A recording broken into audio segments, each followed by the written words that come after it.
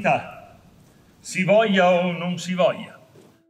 La socialità è il risultato di una lotta culturale e non solo culturale, è un dato oggettivo, universale, così come non può non essere oggettiva, universale la necessità su cui si innalza l'edificio della libertà.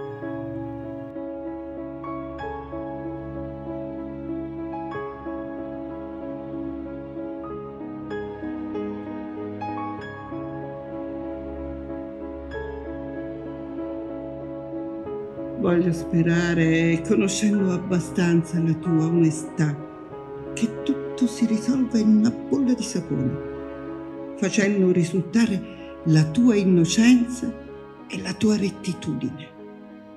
Carissima mamma, non ho più la forza di continuare. Ho scritto altre lettere, ho pensato a tante cose e il non dormire mi ha un po' affaticato rassicura tutti. Dì a tutti che non devono vergognarsi di me e devono essere superiori alla gretta e meschina moralità dei paesi. Vi bacio tutti e a te, cara mamma, un abbraccio e un'infinità di baci. Nino.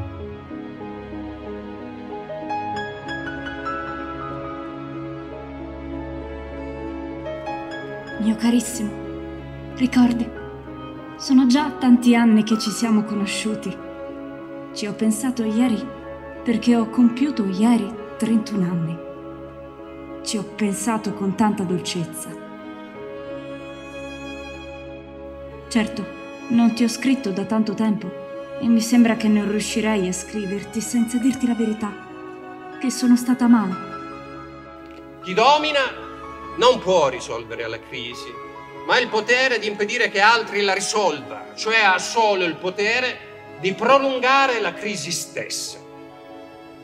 Non ho più nessun motivo di tornare a casa per le ore dei pasti. Quando verrai a Roma ricominceremo la nostra vita casalinga.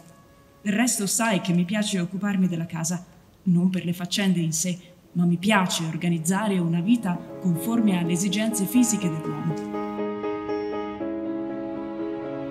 La sintesi degli elementi costitutivi dell'individualità è individuale, ma essa non si realizza, sviluppa senza un'attività verso l'esterno, modificatrice dei rapporti esterni, da quelli verso la natura a quelli verso gli altri uomini in vari gradi, nelle diverse cerchie sociali in cui vive, fino al rapporto massimo e abbraccia tutto il genere umano. Perciò si può dire che l'uomo è essenzialmente politico poiché l'attività per trasformare e dirigere coscientemente gli altri uomini realizza la sua umanità, la sua natura umana.